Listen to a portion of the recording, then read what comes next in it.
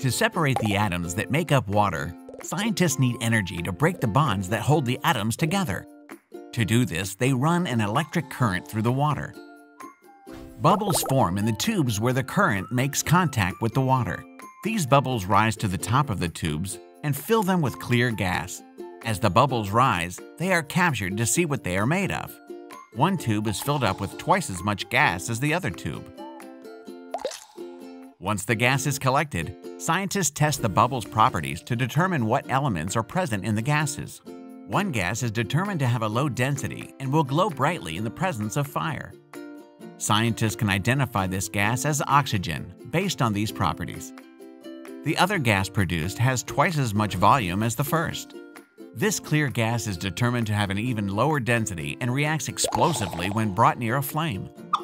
These properties identify the gas as hydrogen. It is noted that no matter how many times the experiment is done, the results are always the same, and there is always twice as much hydrogen as there is oxygen.